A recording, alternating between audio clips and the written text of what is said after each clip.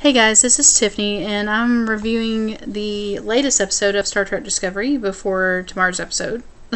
I'm so behind, I apologize. Uh, this episode is called The Butcher's Knife Cares Not for the Lamb's Cry. So, if you've ever had those long episodes, that's always like a. I feel like the, the these episodes so far have kind of been like Confucius says, you know, kind of idea, but there you go, the, the science and the kind of. Uh, I don't know, like the the quotes and just like the sayings that go with the series, anyways, is to be expected at this point. So, um, so it shows Michael now with her full outfit again. Of course, she's no longer wearing the gold uh, rank, you know, embellishments. Now she is silver. Uh, she's a science officer, and uh, they put her to work in the the labs uh, and around their their uh, their spore kind of you know where they're uh, working on different things with the with the organic propulsion system. And uh, she's there to work on it as well. So uh, all of a sudden she gets a a delivery. And it's kind of difficult to see you know obviously she's you know, rooming with a, a girl that we we kind of get the impression she's not too thrilled about being with because she's super cheerful and kind of awkward. You know, that one you just kind of that's really sweet and lovable. And uh, so Cadet Tilly tells her, "Hey, this is for you," and she, you know, presses it, and it is the last will and testament of. Uh, the deceased Captain Philippa Georgiou, and inside this case, and obviously she doesn't want to acknowledge it or accept it so she basically just puts it under her bed and ignores it.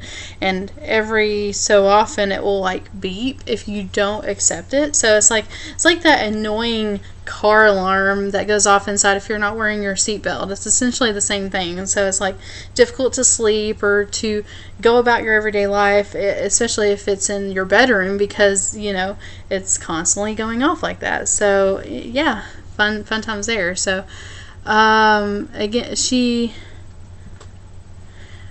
we see uh, Saru's threat ganglia again, which is very interesting to see as the uh, the the prisoners are kind of shuttled away. That he's in the cafeteria and they, they come out of uh, his like the base of his skull, top of his neck, and you know that kind of sense of foreboding or like something's not right i guess because michael is not on that vessel. She's actually uh, still on the uss discovery so who knows? That's it's very interesting though that his threat ganglia would act up like that. So um, we go, we actually on the deck we see that uh, that Captain Lorca is having his crew run through a simulation of a of a battle with the Klingons, and you see these Klingon birds of prey that are battling them. And at first, I was like, "Oh my gosh, what is happening? How do we get from you know, where we were previously to here. Like, when did they get into battle? But uh, it turns out to be a simulation and a, a, very realistic looking one. And this is like their, I want to say like their third, maybe, I don't know. Uh, but they obviously don't do well. And he's, you know, very upset. You know, we need to run this again. You know, not good enough. Not, you know, you're not acting quickly enough. So, you know, he's running them through the paces pretty much. So, um, we get to finally see the Spore like hub drive, uh, so to speak, and we find out that Captain Lorca uh, studies weapons and all the deadliest weapons in the galaxy are in like this kind of like war chamber. Um, and he's we find out that he's uh, a person that likes to study war.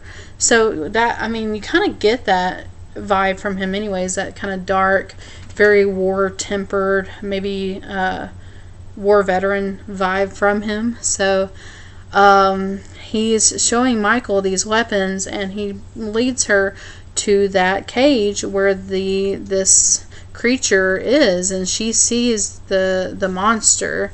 Um, and he asks her to analyze it and weaponize it. So essentially, you know, study its claws because these claws were strong enough to rip through these Klingon soldiers in full battle armament and full um, just like garb. So, and rip through and, and kill them, obviously, with just one creature.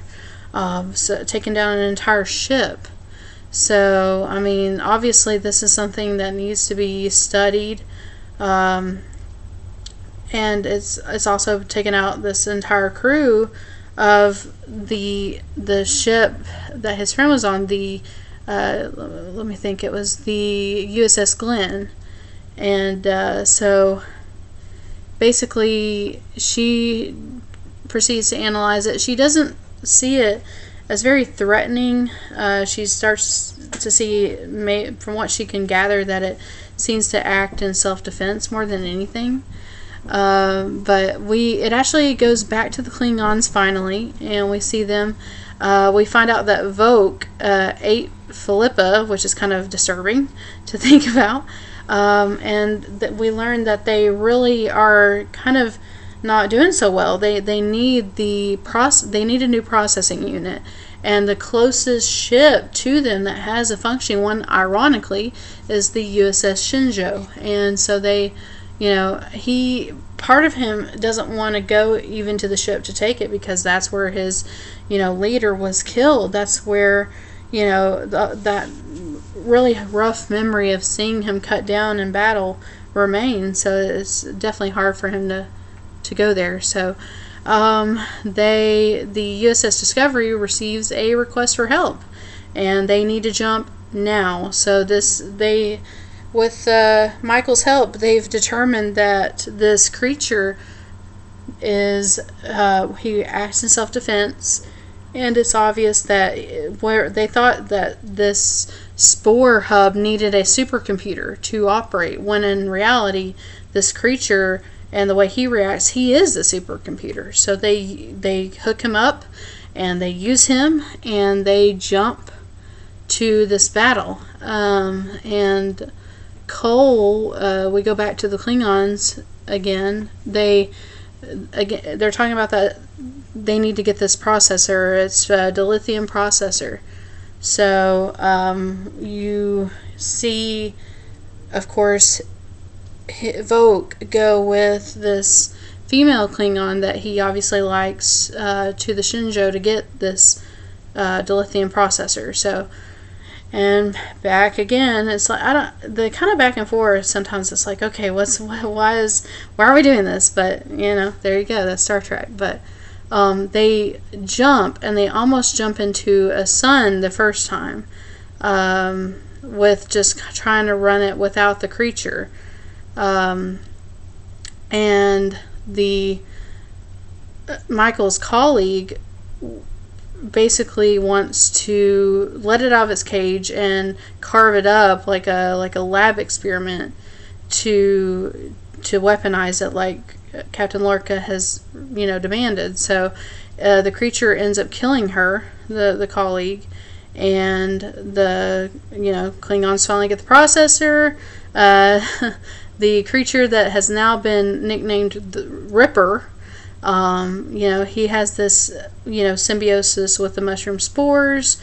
Um, let's see, I'm trying to think. The so after they finally use him in, in, the right way, I guess you could say, or the wrong way, whatever you prefer to think of it, um, they are able to appear and in such a way that they kill the Klingon ships that are causing damage and are trying to kill this planet. And uh, it it is hard for Michael because she she sees it happen, but more than that, she sees the creature being used, and it's like these spikes go into like its skin and pierce it and hurt it, where he's obviously in pain and uncomfortable and feels like he's being hurt and used in a way. Yes, it makes them be able to appear and disappear in an instant, which is what this creature was obviously used for, but at the same time you know it's it's difficult to to watch and be a part of. So uh, she finally takes the advice of her roommate and you know is ready to confront her past that's been looming over her. She opens the last will and testament of uh, the deceased Captain Philippa and finds out that she has left her a telescope. So I'm, I'm curious to see what she does with it or how it kind of impacts her as a, person moving forward and her, um, you know, her. Again, this is obviously something of great import and something that is very cherished. So, uh, very interesting to see that. In the preview of the ne- next episode, we see Lorca is being is captured and being tortured, um, and it, like it, it looks very very. I don't know if it's a flashback or if it's current uh, times that he's being tortured, and maybe that's why he's so dark. But obviously, this is going to give us a chance to kind of I mean, we've really kind of seen Michael a lot more than we've seen Captain Lorca so far. So I feel like we do need a more focus on him as a captain to kind of get that feel for him and how like we got a feel of Captain Philippa very quickly. Um, just like her her nature and her like thoughts during battle. Uh, she wants to kind of talk it out, obviously. So we, we rather than just you know shoot first, ask questions later.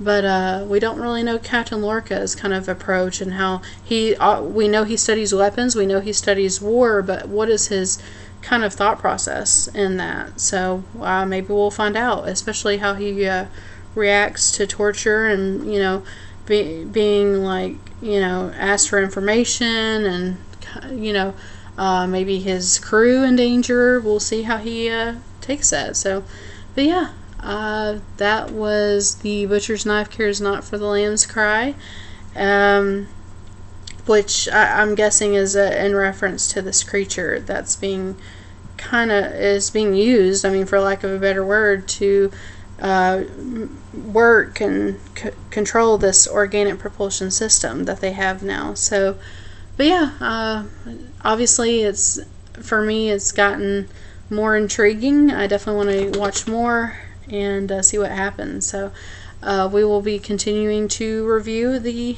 uh, episodes of Star Trek Discovery. Uh, we'll be reviewing the Orville, uh, the latest volume of RWBY that has just been released. we will be reviewing Stranger Things 2 when it comes out, as well as The Walking Dead when it starts back up, We've already reviewed Game of Thrones, and we will continue to do so once it comes back out again, uh, probably next year. Um, and obviously other new shows, as well as we've got unboxings of Loot Crate and Loot Anime, uh, Scotchbox Japanese Snacks, Owl Crate. I've got the fandom favorite bots coming, as well as the anime bento. So keep an eye out for that. We've got a Destiny 2 giveaway going on right now, so if you haven't already, make sure you check out that video if you're interested in winning your own copy. And make sure you subscribe to the channel because that's one of the things you can do to win. And uh, make sure to also like us on Facebook at www.facebook.com slash the nerdettes. And that's that's it for this review. I hope you guys enjoy and hope to see you back later. Bye bye.